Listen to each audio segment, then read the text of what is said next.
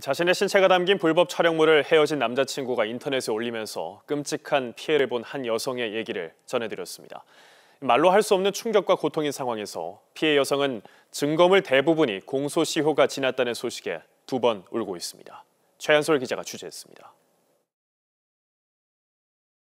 평범한 가정을 꾸리고 살다 옛 연인이 특정 앱에 올린 불법 촬영물로 고통을 겪고 있는 A씨. 가해 남성과 1억 5천만 원의 합의서를 썼지만 가해자는 돌연 사라졌습니다. 결국 경찰 신고에 이르렀는데 공소시효라는 벽에 또 부딪혔습니다. 성폭력 범죄 처벌 등에 관한 특례법상 불법 촬영물 유포 범죄는 공소시효가 7년인데 사귄 지 10년도 더 된 연인이 벌인 행각을 너무나도 늦게 알게 된 것입니다. A씨가 모은 촬영물만 80여 장에 이르지만 대부분 증거 능력을 잃었습니다. 그만큼 범죄의 중대성 또한 떨어지게 되는데 A씨의 고통은 더 커져만 갑니다.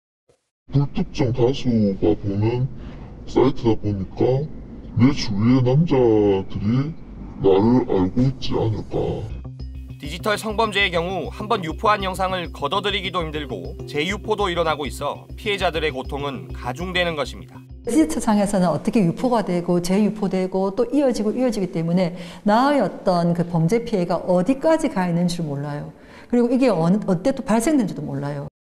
전문가들 또한 디지털 성범죄를 기존 형법에 맞춘 공소시효로 적용하는 것에 문제를 제기합니다.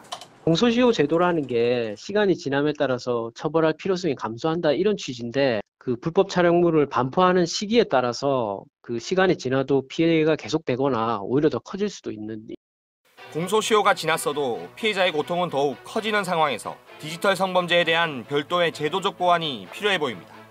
KNN 최한솔입니다.